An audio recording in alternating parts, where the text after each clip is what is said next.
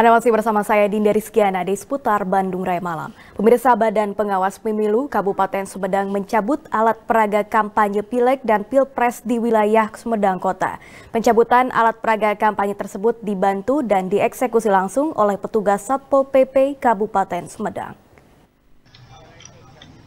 Bawaslu Kabupaten Sumedang bersama dengan Satpol PP Sumedang menertibkan ratusan alat peraga kampanye Pilpres dan Pileg di jalur protokol di wilayah Sumedang Kota.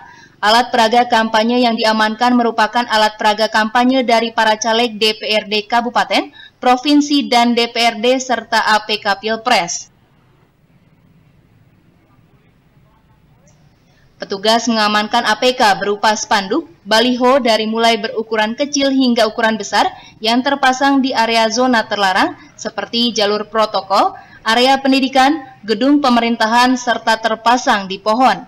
Hal tersebut dilakukan atas dasar peraturan KPU nomor 23 dan melanggar perda tentang lingkungan hidup.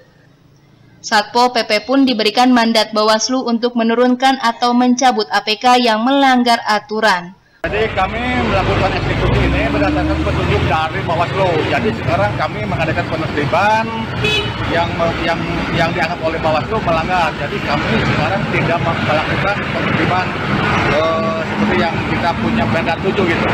Jadi petunjuk ya. dari Bawaslu aja gitu. Ya.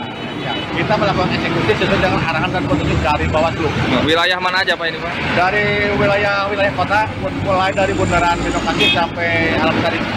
Bawaslu dan Satpol PP Sumedang akan terus melakukan penertiban APK hingga beberapa hari ke depan di seluruh wilayah Kabupaten Sumedang. Diki Guntara, Bandung TV